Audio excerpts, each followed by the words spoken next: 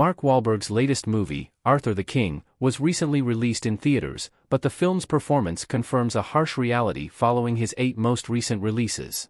Wahlberg has turned into a household name after getting his acting start in 1993, and he's had many hits over the years. However, his most recent film continues a worrying trend in the actor's career. Arthur the King is based on a true story and sees Wahlberg playing a real-life athlete and adventurer Michael Light. Despite garnering some praise for his performance, the overall mixed response shown towards the film hints that Wahlberg's best movies may be behind him. More concerning is that Arthur the King follows a rather undesirable pattern that has emerged in Wahlberg's career in recent years, and it's to do with the film's box office. Arthur the King further shows Mark Wahlberg is no longer a box office draw.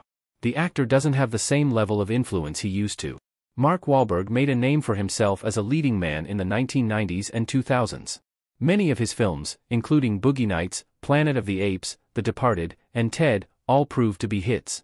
Nevertheless, the actor's career has taken a downward turn of late, and Arthur the King's poor box office performance only reaffirms this. So far during the 2020s, Wahlberg has only had one real hit, 2022's Uncharted. However, Uncharted's association with a popular video game franchise, as well as Tom Holland's starring role, were likely greater factors in the film's success.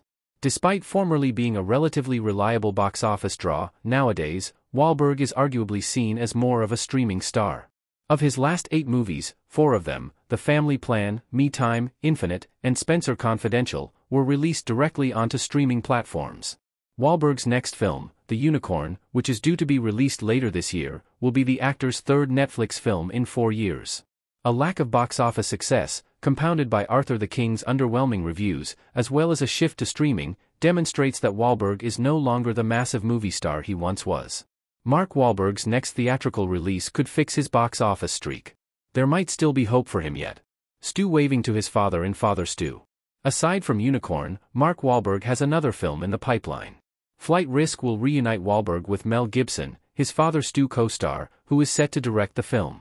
Despite being a highly controversial figure, Gibson has a surprisingly solid box office record. All five of the titles he's directed have been financially successful, which is promising for Wahlberg.